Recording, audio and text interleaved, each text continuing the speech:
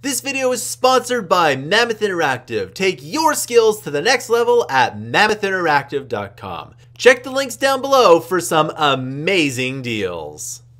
Hey everybody, welcome to this tutorial. This tutorial I'm going to show you how to scale and rotate here. So it might seem like a very trivial thing to do, but it's actually quite important, all right? So the first things we're going to do is we're going to go into the starter content here, and we're going to go into the props, and there's one specific prop that I always like to use here, and that specific prop is this material mesh here, and this will be good enough here. Now, if you really want to, uh, we can uh, change the uh, change everything to let's say gold and silver because there are a few things I want to uh, not silver um, silver?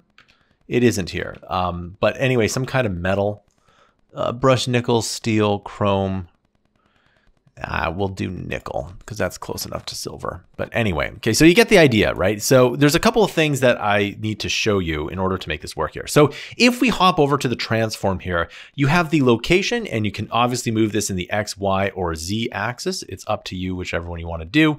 Uh, but you'll notice that the cursor changes. You can also rotate this. This rotates everything on the X axis, the Y axis, and of course the Z axis right? So you get the idea here, right? Likewise, you can scale on the uh, X. Now, you notice how everything's going together. Well, there's this lock.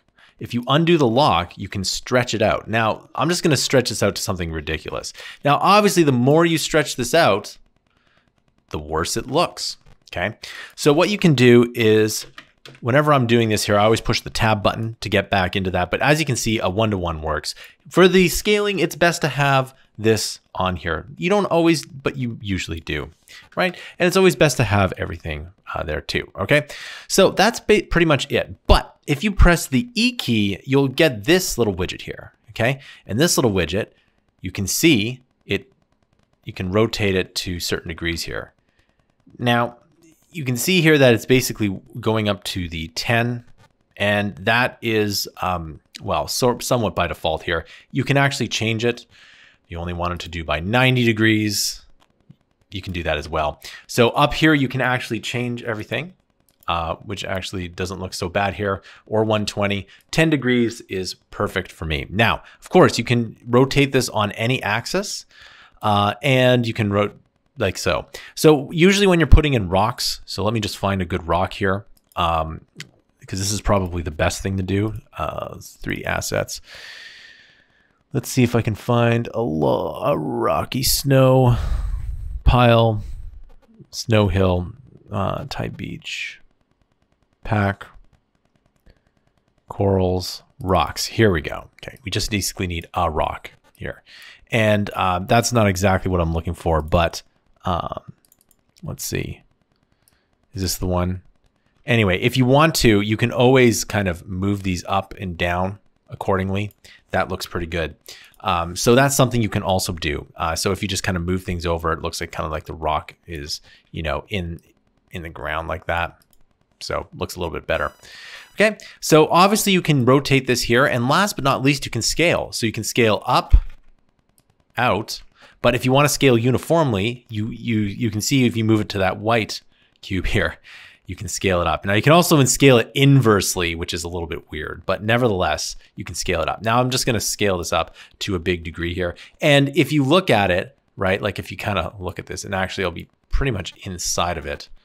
Uh, but you can see that, you know, the scaling does, it's not bad, but at some point in time, it does get a little bit, it doesn't get as, um, uh, it's a little bit less detailed. So if you were to actually make an object and then um, and then scale it up, uh, it would be it would be a lot better here. So it does still look pretty good. The rendering engine in Unreal is pretty good here, but I'm actually just gonna scale it up even more just so I can kind of show you how poorly it can get, right? So if we scale it up, you know, you can see that uh, it is starting to be a little bit faded, but still depending on when you started gaming, it does look pretty good.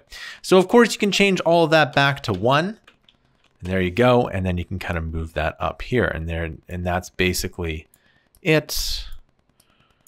And there you go. And so that's how you rotate and scale. Okay, it's something that's pretty easy and it's something that you do quite a bit here. Okay, so there you go. And if you ever need to change um, the grid, so to what it snaps on, you can use this. If you ever need to change the rotation grid, you can use this.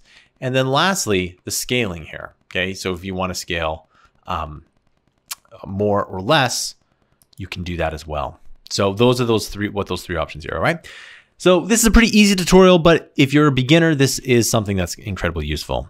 Thanks for watching, and I'll see you in the next video. Hey everyone, thanks for watching this video. If you really like this video, you can buy our content down below. It really does help us out when you buy our content down below because this channel doesn't do a Patreon. Instead, we sell our digital products down below. If you really like this channel, you could subscribe to Mammoth Interactive's huge library of content. We release 20 to 60 hours of fresh new content per month every single month. We release everything from Adobe tutorials to 3D modeling tutorials to game development tutorials to machine learning tutorials to web development tutorials and more. We're constantly pushing the bounds in e-learning and if we can get to 10,000 paid subscribers per month, we can become the best e-learning company on the planet. Thanks for watching and I'll see you in another video.